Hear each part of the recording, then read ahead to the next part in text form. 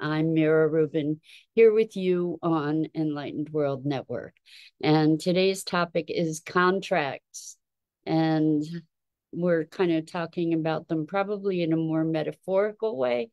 But uh, a lot of us feel like we have these contracts and that um, they're binding us to certain behaviors and patterns in our lives. And the thing is, what if what if there's some fine print that we didn't get to read or that we didn't even notice, we didn't pay attention to? And maybe that fine print includes some kind of escape clause or conditions that when met the the remainder of the contract is rendered null and void so it should be a fun conversation speaking in possible metaphors, possible truths today. Um, good morning, good morning, Rosalind. Welcome. It's so good to have you here with us this morning, and welcome to everybody else who's joining us. Before we get started in this morning's conversation, let's take a couple minutes to get present. So let's take a deep breath in through your nose and hold it. And imagine clean, crisp oxygen flooding your lungs, flowing into your bloodstream, nourishing all your cells, all your organs, bringing vital life energy to your body and being. And as you exhale, exhale any tension, stress, negativity, fatigue. And now let's take another deep breath in through your nose and hold it. This time, imagine brilliant bright light, lighting you up from the inside out, illuminating, electrifying, and energizing all your cells, all your molecules, your electrons, creating a brilliant beam of light and energy from your heart out into the world.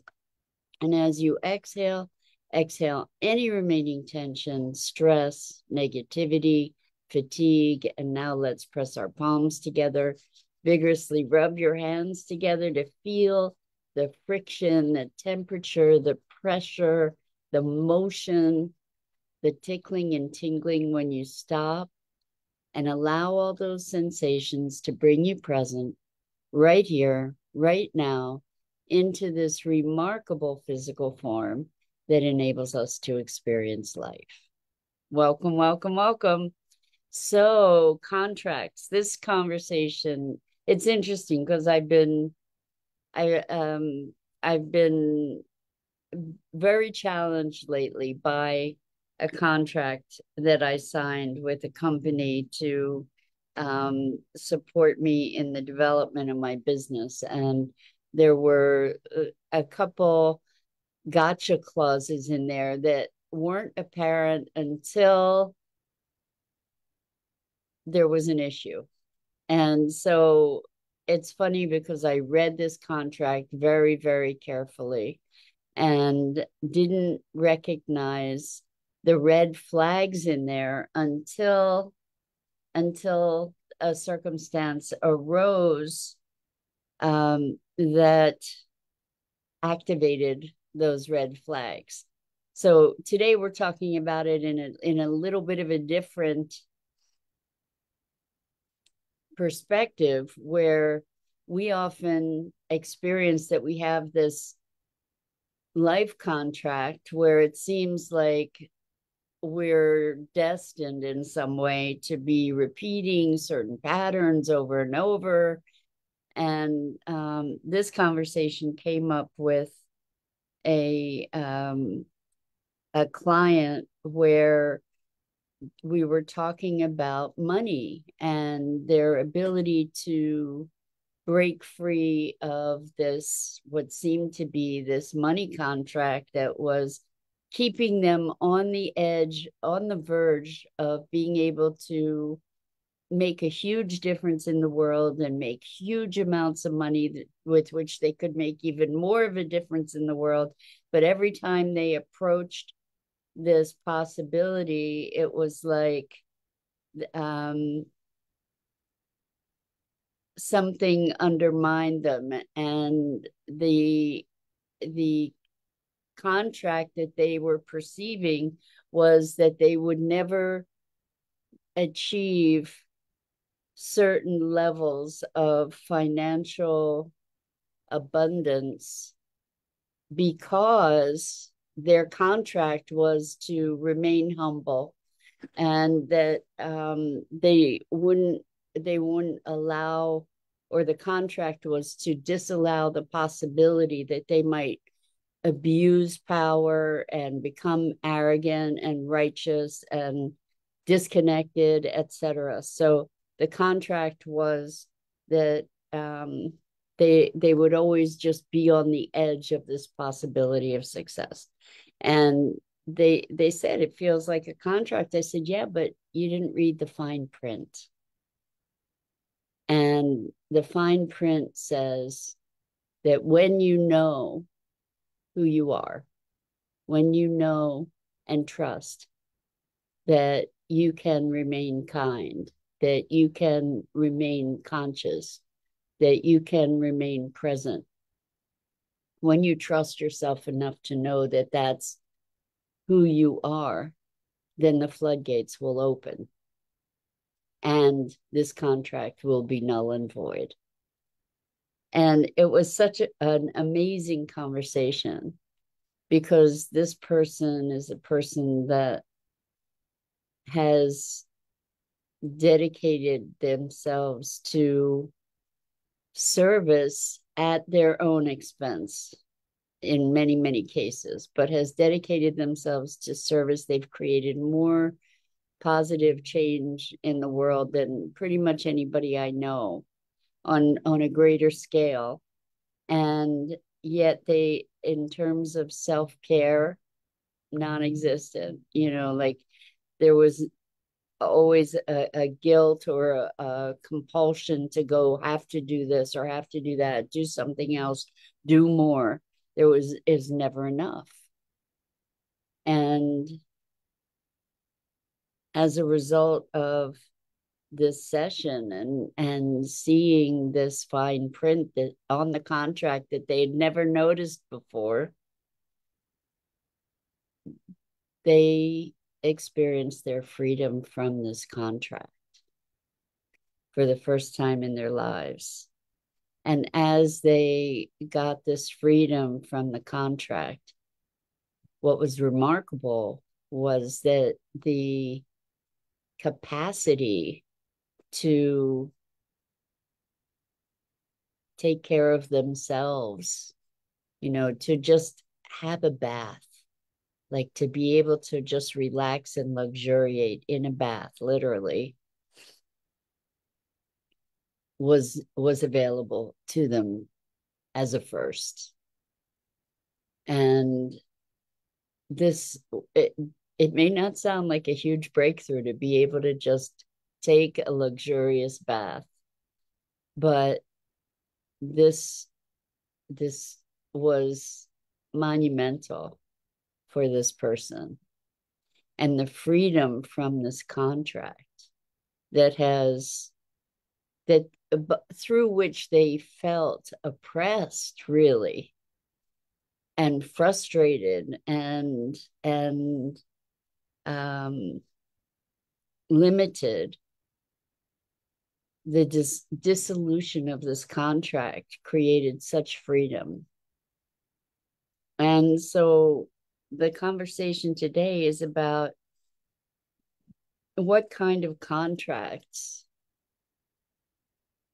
do we have that we haven't noticed the fine print, where we haven't noticed the fine print, where there's a clause in there that says, but when when you come into your own when you sort of complete this this growth or transformation then this contract is null and void. You can tear it up. And there those constraints are no longer at play. How exciting is that and I would venture to say that the likelihood is that for those of us who experience these contracts or, or metaphorically real whatever you know if we're if we're imagining them that vividly then they are real in some level and dimension. Um but if we could allow ourselves to see the fine print. You know which and the thing is that we only see the fine print when we're ready. You know when we're when we're at that place where the fine print is actually in play. And um, we become freed of it. And then what you know then we've what we've what it's like is that we've crossed a threshold into a new awareness, a new state of being, a new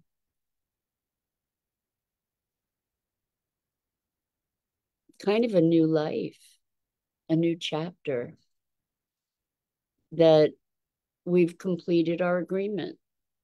We've done, we've we've fulfilled the terms of the contract. And then we get to move on. And, you know, it's interesting. It's bringing to mind another client that I worked with. And this was such a cool thing. Um, Rosalind says, holding on to items you don't need anymore. This reminds me to declutter.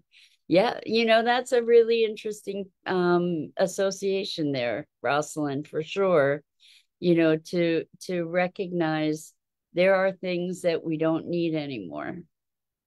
Um, in in our patterns, in our behaviors, in our environment, in our possession. There are many things that we outgrow. We outgrow the need for. And um, I like the notion of decluttering, decluttering emotionally, psychically, as well as physically. Um, I'm trying to fi- find my my track again. Oh, okay. So uh, there was another client who had I don't know if it was a psychic they had gone to or or some kind of sage type person who said you've completed your contract you know your your work that you came here to do is done and this became a crisis for this person because the way that they interpreted that was that their life was meaningless now.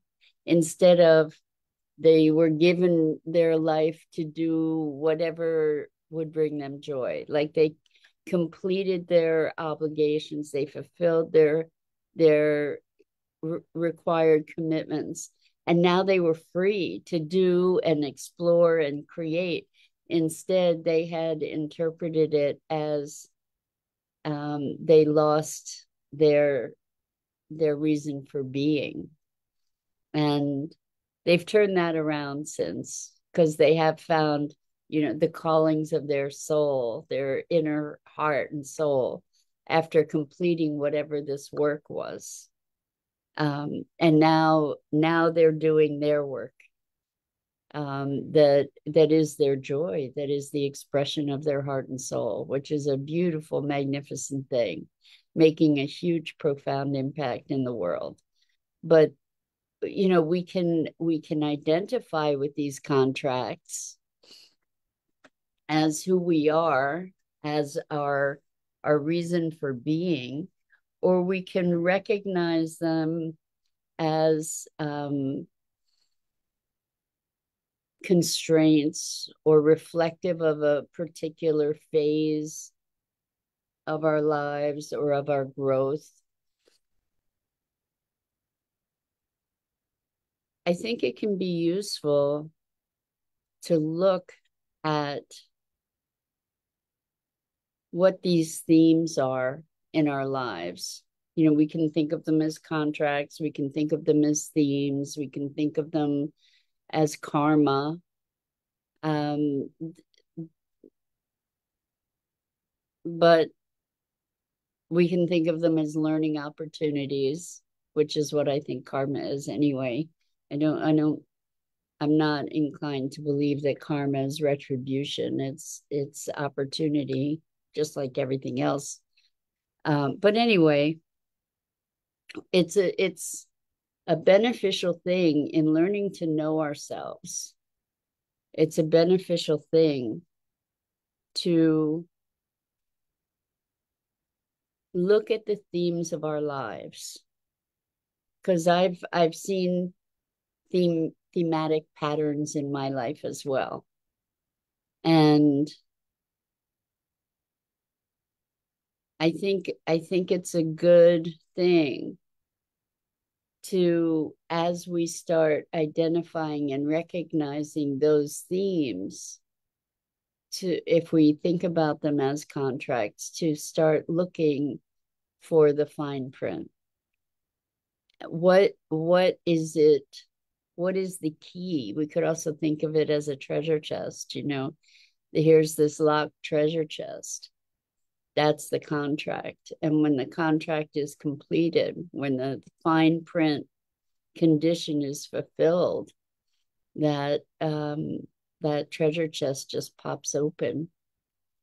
And the the the thing that's keeping us from our uh, the expression of our own treasures our own deepest expression then becomes available to us. So what is the fine print? What is it? You know what are what are these patterns that we believe we've been locked into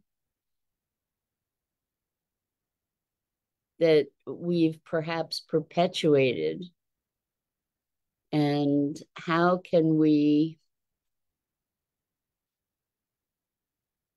rewrite the contract or or just notice that there's this exit clause that then voids the balance of it, you know, voids the balance of the contract. You've completed the terms of it.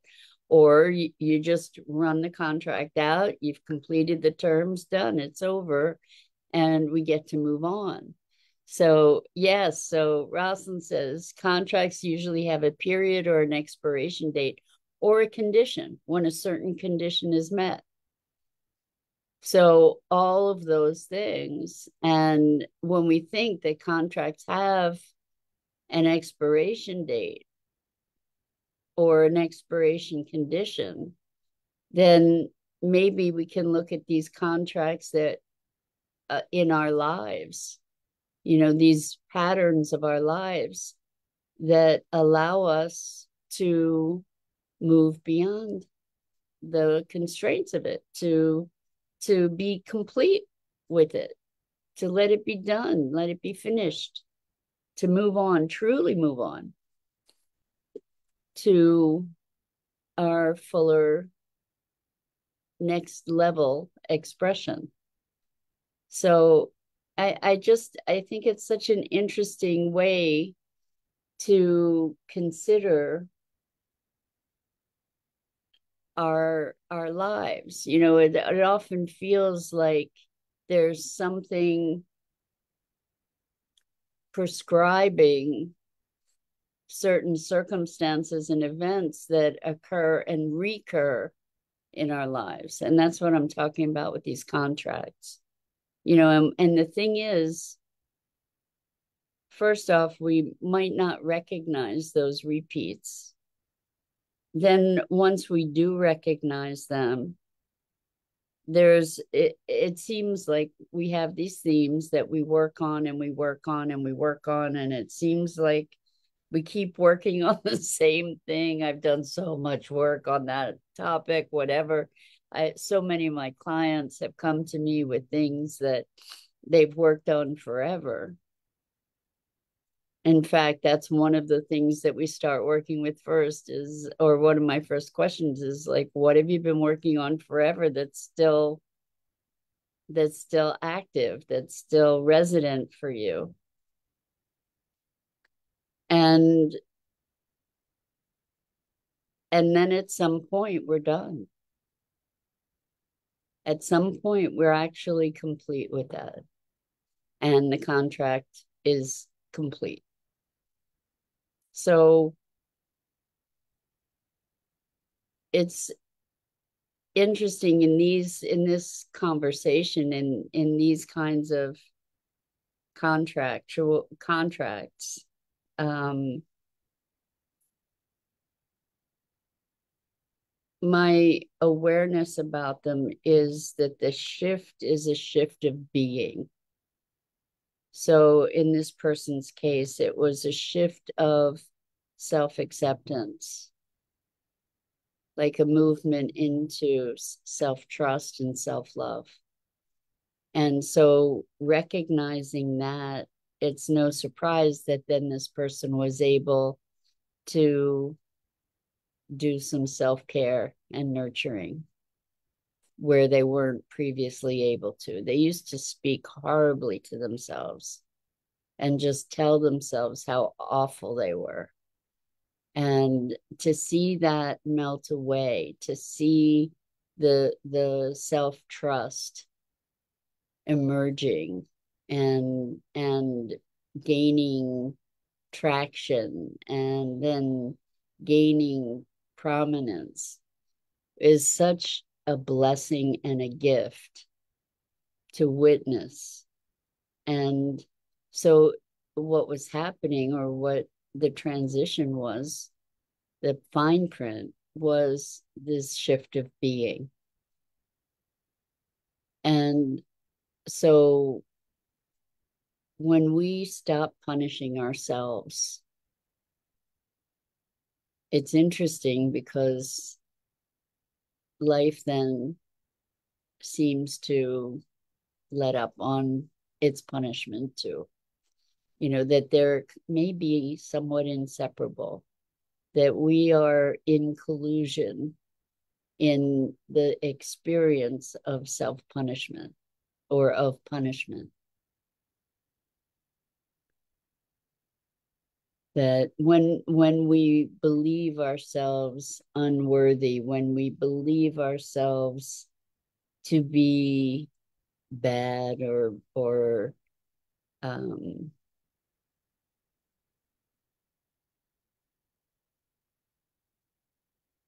well, unworthy, then life has a way of presenting those circumstances over and over. And as those circumstances get presented more and more, we can continue, it can deepen our conviction of our own unworthiness, where the shift in the in the um, fine print is actually to rise above that condition, to rise into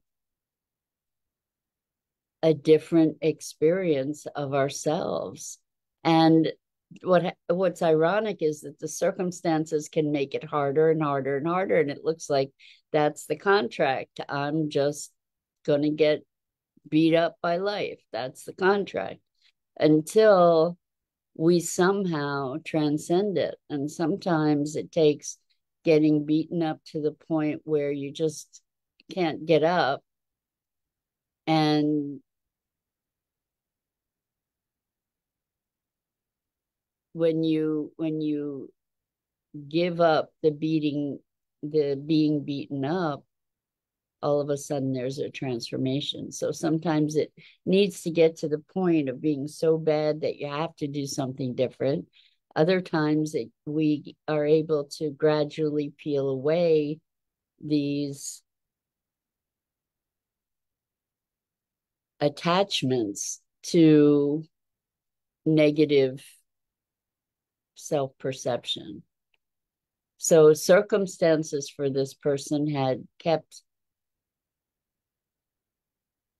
affirming over and over that they were never going to get to where they knew they could be financially and and impact wise in the world because of this arrogance that they were afraid of and um, then they just had a revelation it's like it's not about being punished.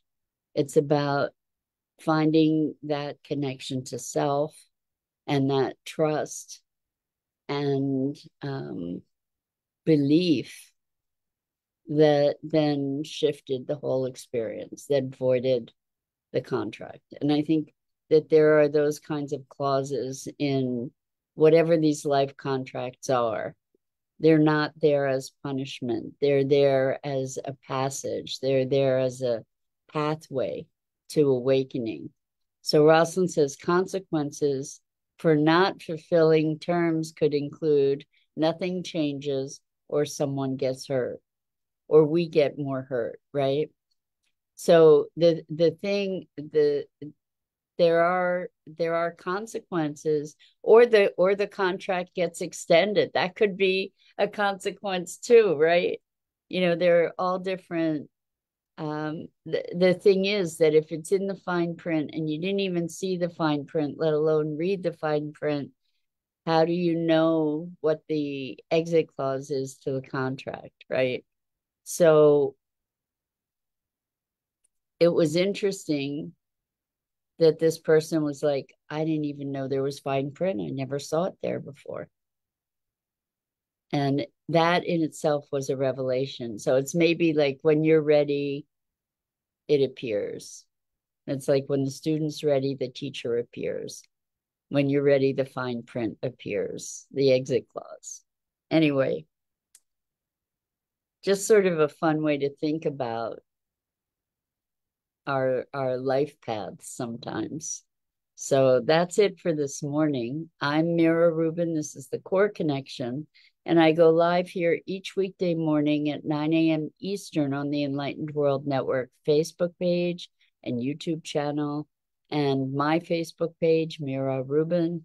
And I just want to encourage you to check out the other awesome programming on Enlightened World Network and Enlightened World Living. And as always, I just feel so grateful to have the opportunity to have this time together to explore and muse and discover. So until next time, so much love to you.